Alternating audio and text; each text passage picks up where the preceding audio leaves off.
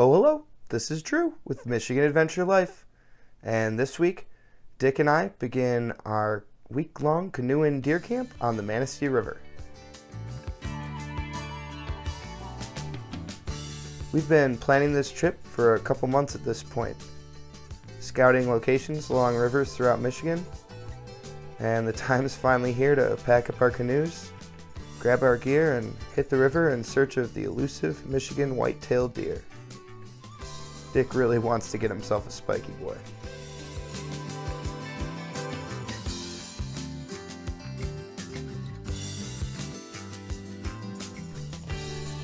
And the Manistee River seems as good a place as any to get out there and enjoy the best public lands Michigan has to offer and the best time of year to enjoy Michigan.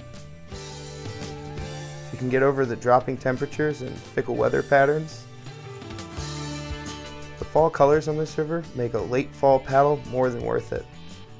And we hear the fishing is pretty good too, as long as you're being safe on these frigid waters.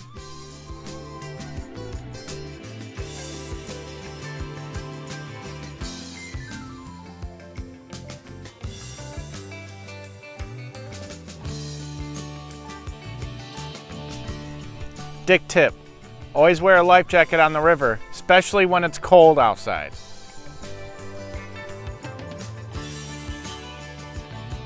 And with all of our gear and our butts finally in the canoes, it's time to hit the river and maybe find some deer. Or at least some deer sign. Or at the very least, somewhere to pitch a tent for the night.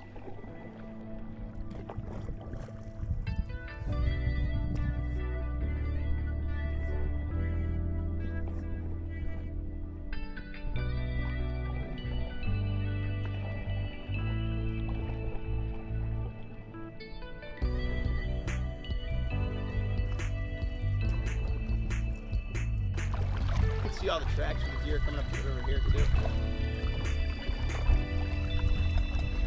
Deer love the river. Deer love the highway. And a river is just the highway to the lake, eh?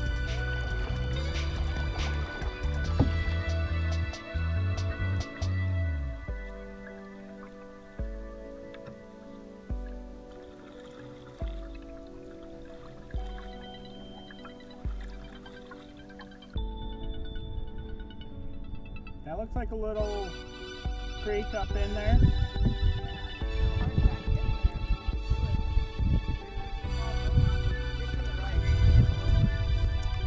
Deer love this river as a safe haven.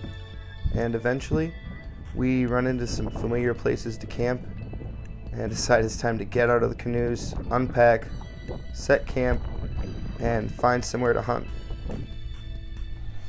Dick tip, use a reflective marker to mark your camp when canoeing on the river.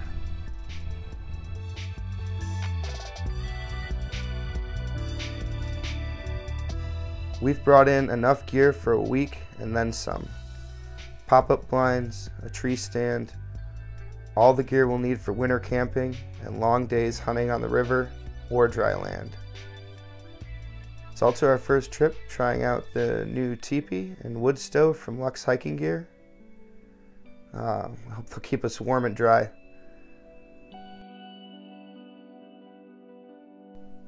After camp is set up, it's time to walk up the ridge, hike a couple miles in, and set a pop up blind.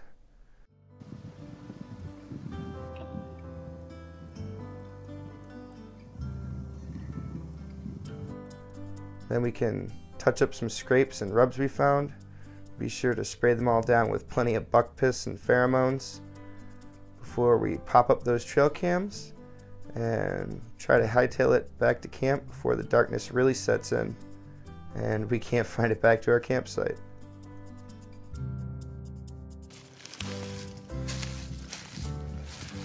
Scrape some bark off. Yeah, but like, What? How high? uh, yeah, between your balls and your belly button.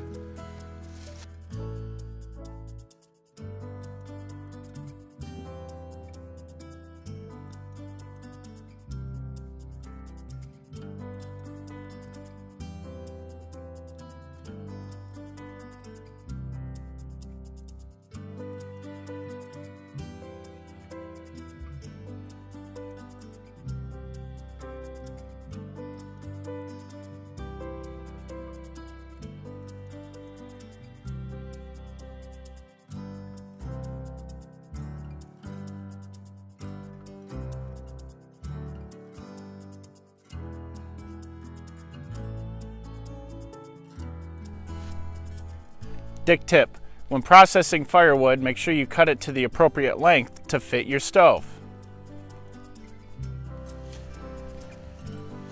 And now that we've made it back to camp, it's definitely time to get a fire going, make a warm meal, and you know, try and catch a little sleep before our first opening day of deer season at canoe camp.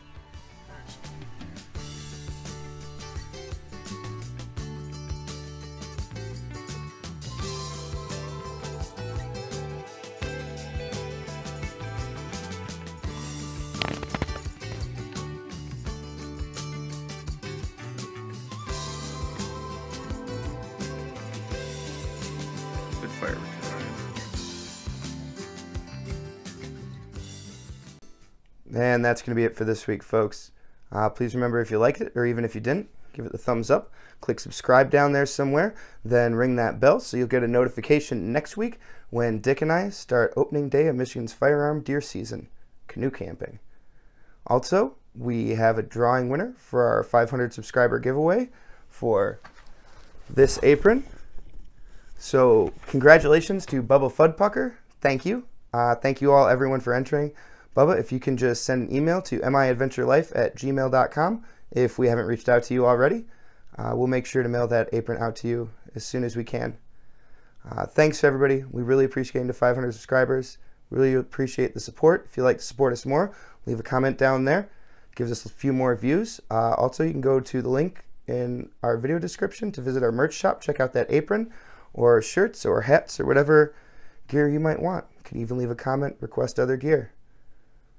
Thanks, guys. We really appreciate you watching. It's been MI Adventure Life.